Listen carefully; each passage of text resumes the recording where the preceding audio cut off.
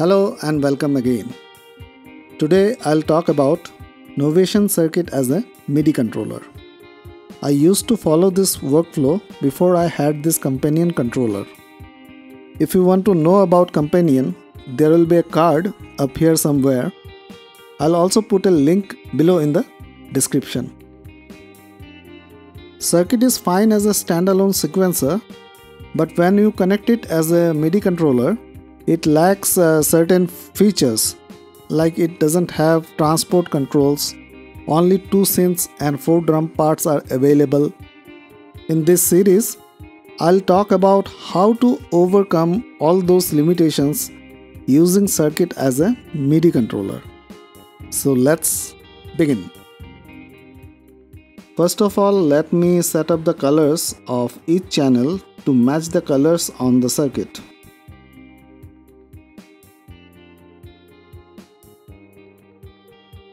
I'll delete the two default audio tracks and insert a new MIDI track for the drum parts. Change this color to orange. Now we have three tracks. The purple one is for synth 1, green for synth 2 and orange for drums. Let's also set up the inputs of each track. On the first track, select MIDI from circuit and channel number 1.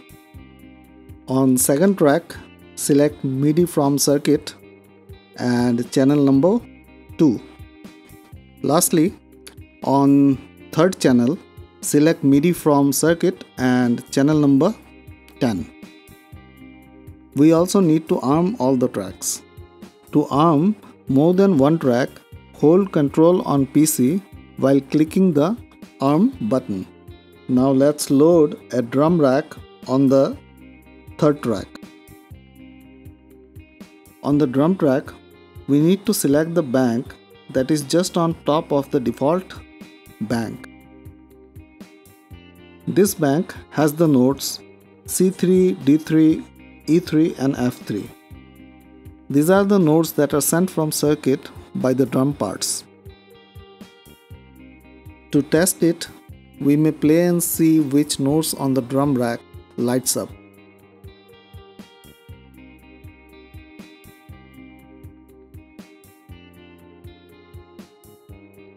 Okay, let's load up some samples on the drum rack.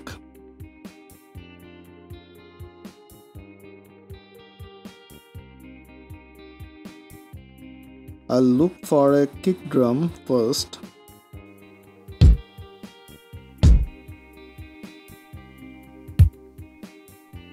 Okay, this is fine.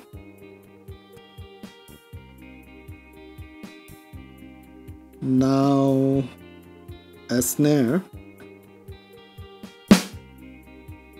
let's load this up on D3 next some hi-hats this is an open hi-hat. Let's load it up on F3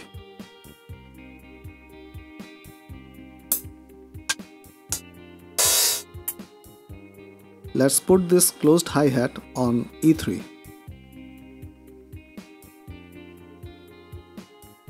Now let's play and see.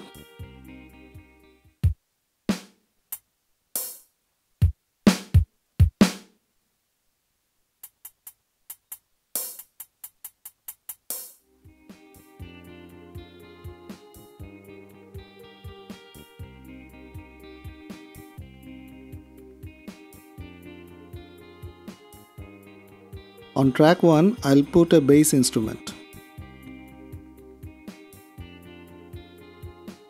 Let me look for one.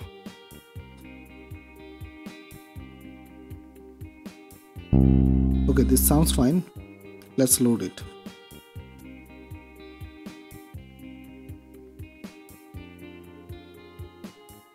Now on track 2, um, let me see what can I load.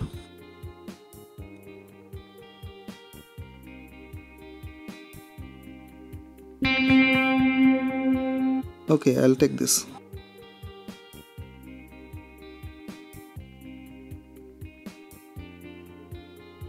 Finally, we need to arm all the tracks again. They got deselected when we were loading instruments. One final thing you may do is to MIDI map the track volumes.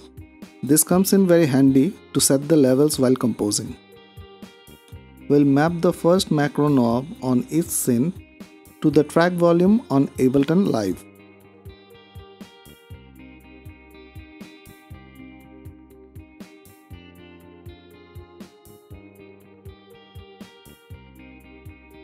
Let's come out of MIDI mapping and we are done.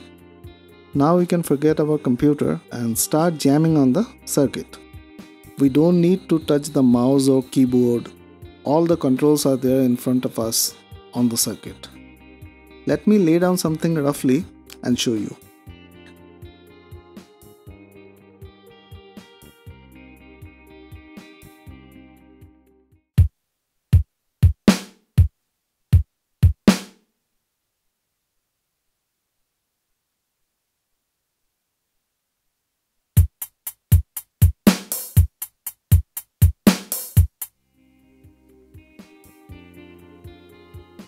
We can also edit the velocities and length of the notes very easily. We can also dial in some swing. The only difference is that the sounds are not from the circuit but from the computer. Another advantage of using this technique is that we can sequence around 4 to 5 instruments on the circuit. Whereas if we use the synths on the circuit, we have only two of them. I'll come to that later.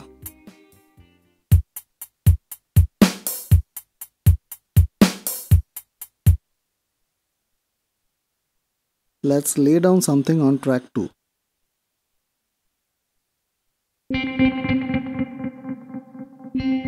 We can set the level using macro 1 since we mapped it earlier to track volume.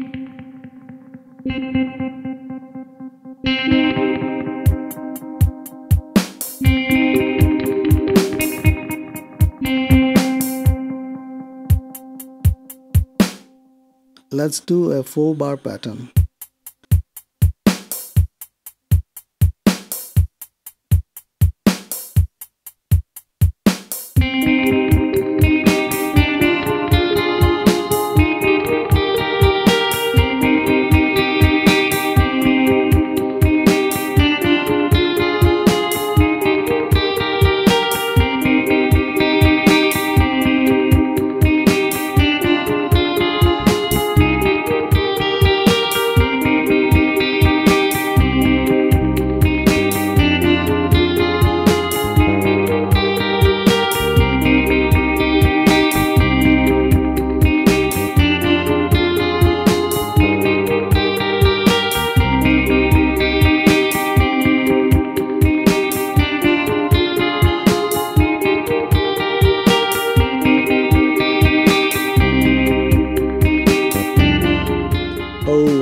To set the length to 4 bars.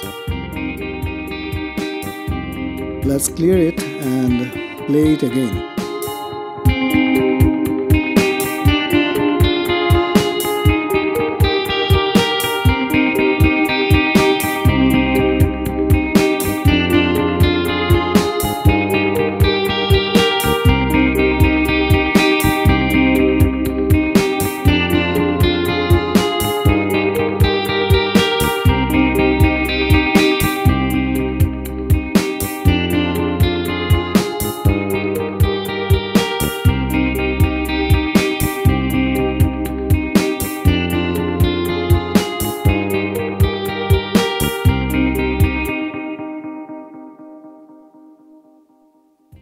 When you are happy with your idea, go to Arrangement View, then in the Preferences window, go to Link MIDI tab and turn on Sync on the output circuit port.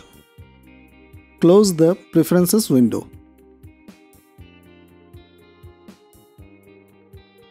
Now when you press record on Ableton, circuit will start playing in sync with Ableton's clock all three tracks will start recording at once.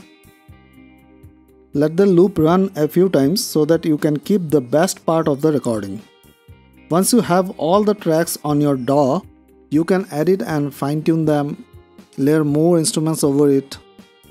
In my next video, I'll talk about how you can sequence more than two instruments on synth 1 and 2 of the circuit.